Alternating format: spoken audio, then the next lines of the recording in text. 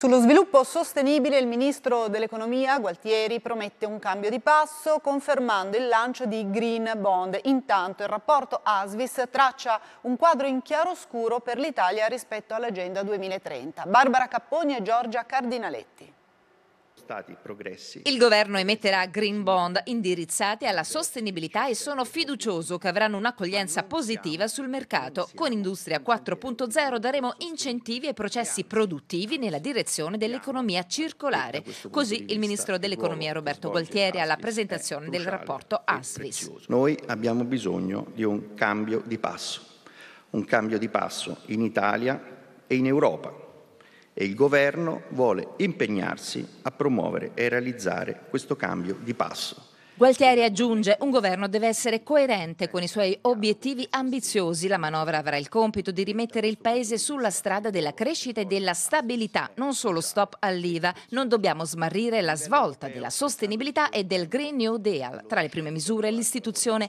di un comitato interministeriale per il contrasto ai cambiamenti climatici.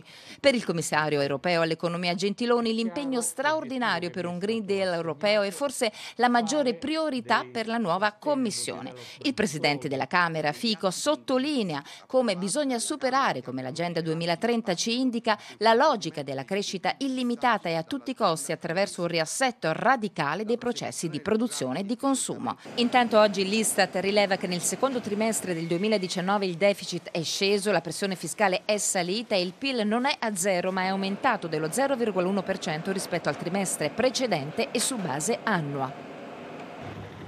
Il futuro del pianeta nei 17 obiettivi di sviluppo sostenibile dell'Agenda 2030. Anche l'Italia fa la sua parte. Oltre la metà degli obiettivi sono quelli in cui abbiamo fatto passi avanti tra il 2016 e il 2017. Nutrizione, salute, equa istruzione, uguaglianza di genere, bene anche l'accesso ai sistemi di energia economici e moderni, l'innovazione, i modelli sostenibili di produzione e la lotta al cambiamento climatico. Ancora abbiamo moltissimo da fare, soprattutto nella distanza rispetto agli obiettivi. Ricordiamo che l'Agenda 2030 non prevede soltanto un miglioramento rispetto al passato, ma degli obiettivi molto precisi. Sei sono quelli in cui il Paese è peggiorato, la povertà è in aumento, male anche il lavoro. L'Italia ha il maggior numero dei cosiddetti NEET, giovani che non studiano né lavorano, città meno inclusive e sostenibili, tutela di oceani ed ecosistema terrestre e infine la giustizia, invariata la situazione per la gestione sostenibile dell'acqua e delle strutture igienico-sanitarie.